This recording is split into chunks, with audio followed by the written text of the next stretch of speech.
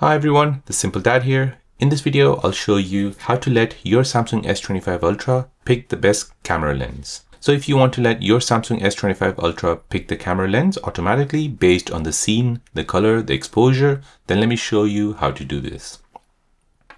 So first you need to go ahead and open up the Galaxy Store, search for Galaxy Store,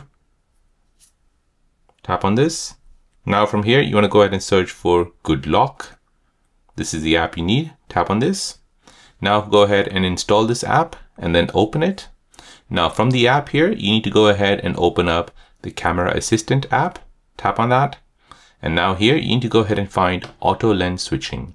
So this will let the camera pick the best lens based on zoom, lighting, and the distance to the subject. So it will automatically detect all these factors and it will automatically switch the lens. So go ahead and turn this feature on. So there you go guys, that is how to turn on auto lens switching on your Samsung S25 Ultra. If you're new on the channel and you want to find out more about your iPhone, your Android phone or any other social media apps, then don't forget to subscribe to this channel to become a part of the Simple Dad community. Hit the like button if you find this video useful.